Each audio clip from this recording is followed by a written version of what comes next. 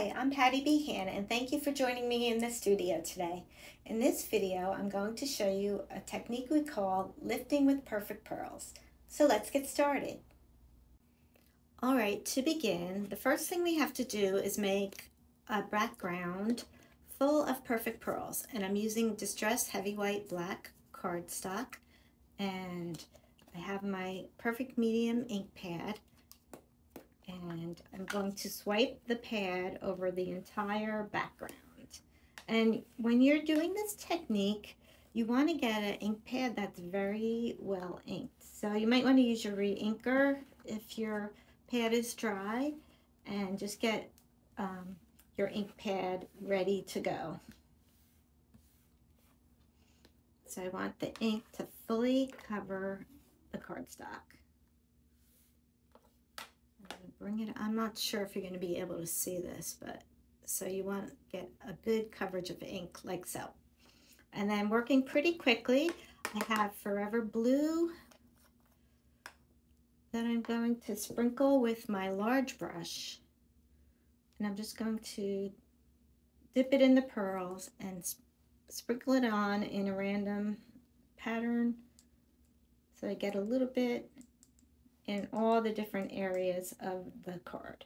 Then I'm going to wipe off my brush. Then I have turquoise next.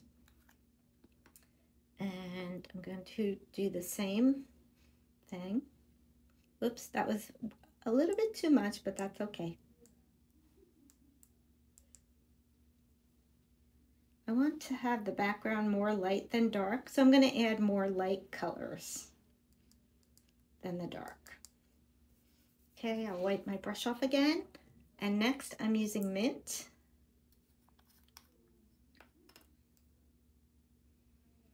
And I'll do the same thing.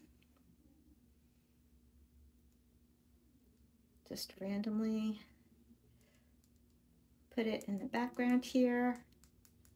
Okay, and now the next step is I'm just going to pounce the color in so that I get the color where it landed. We don't want to swirl the whole background just yet. That'll be the next step. We just want to make sure we have certain colors in the spot where we put them. Okay, and once it's all pounced in, I'm going to go ahead and swipe off my brush again, and then we're going to swirl the colors to get any spots we might have missed.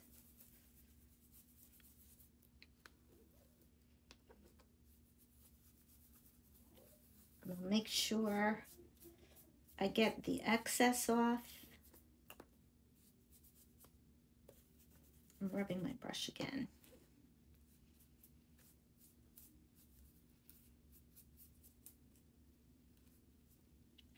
Okay, and I'm even going to go one step further and I'm going to lightly just rub off the excess.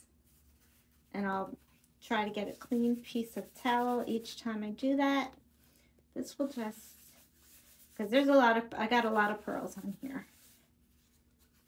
Okay, and I'm also going to wipe off my area here.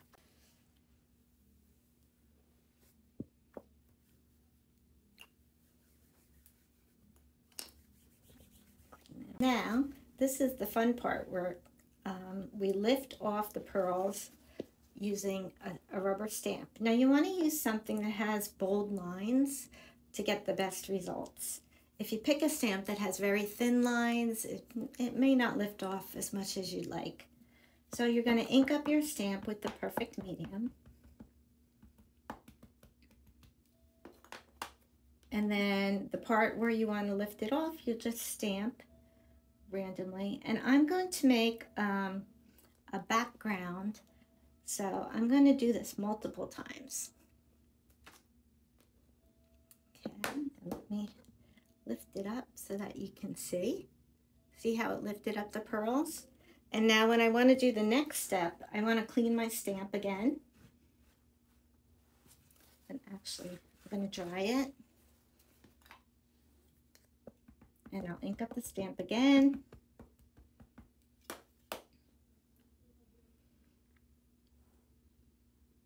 And I'll just keep doing this until I get the look I want. Again, we're removing the ink.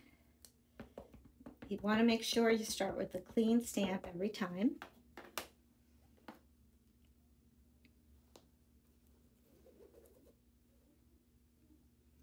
And go over here and I'm stamping off the edge. I'm to lift this up again so you could see. So you have that pretty pearly background with some of the pearls lifted to reveal your stamp. It's just another way to use the pearls for a different look. And you don't have to just do this um, on cards. You could do this in your journals. Oops. I'm going to do it um, one more time.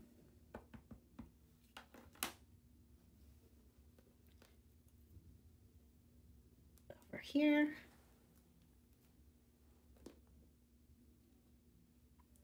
And then I think I'm done and I'm ready to put this together. So there's one more step before we do that. And what I want to do is mist it with some water to set the pearls. And I'm going to get these out of the way because I don't want the water to go into my open pearls. And I'm just going to use the mister to spray and I'll wave the card through. Okay, so this is um, a little bit wet. So again, we're going to let this dry and it'll set. And we're going to put the card together. I already made a background. And let me just make sure my area is clean. And we'll, we'll I'll show you what it looks like when it's dry. See how beautiful that is? And and it makes such an interesting background. So I'm going to put this card together real quick.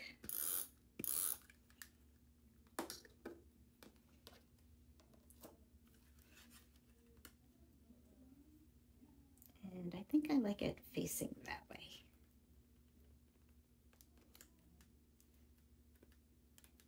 so. And then I have the sentiment that I already embossed that I'm going to add.